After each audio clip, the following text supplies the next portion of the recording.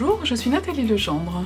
J'enseigne le patchwork et la broderie au ruban, mais aujourd'hui je vais vous apprendre à fabriquer un ours en mohair à l'ancienne comme celui-ci. Je vous présente Eugène.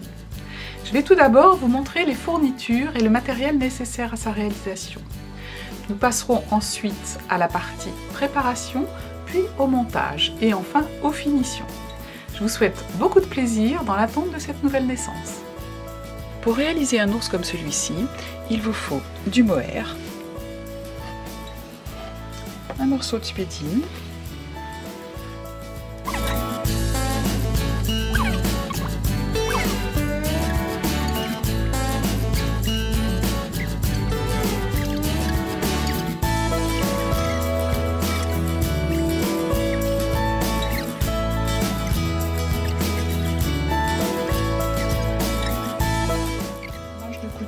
de 0,5 tout autour.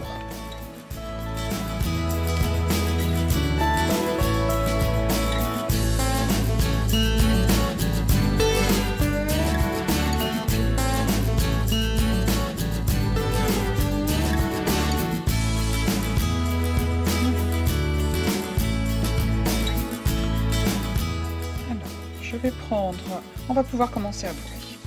Alors la seule partie de notre os qui ne va pas être bourrée, ce sont les oreilles, donc on les laisse de côté.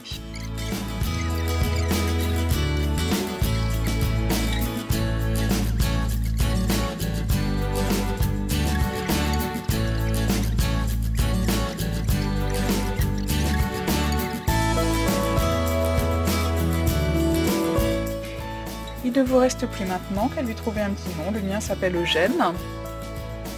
Je vous retrouve maintenant sur le forum pour répondre à toutes vos questions.